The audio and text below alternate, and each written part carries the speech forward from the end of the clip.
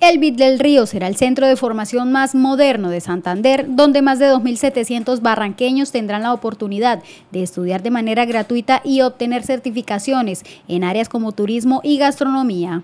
Gloria Chipagra, subdirectora del SENA Barranca Bermeja, revela los detalles de este proyecto que transformará la educación en la ciudad. En los temas de logística, en los temas de agroindustria, en los temas de turismo y en los temas de petróleo.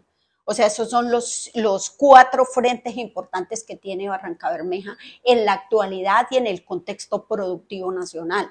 Entonces estamos catalogadas como una ciudad que, que es apta para el emprendimiento, que tiene talento humano competitivo y eh, cuenta y se está construyendo infraestructura. Entonces este BID del río es un complemento a esa infraestructura necesaria requerida para que Barranca Bermeja pueda desarrollar esos frentes de, productividad que le permitan eh, eh, florecer en aspectos diferentes al petróleo.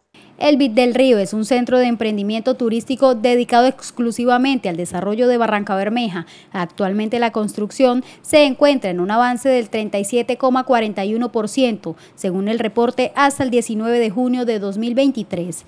Este innovador espacio contará con habitaciones y salas de aprendizaje reales, donde se impartirán las clases de hotelería, turismo, gastronomía, barismo, organización de eventos, servicio al cliente, emprendimiento, innovación y otros estudios técnicos técnicos y tecnológicos.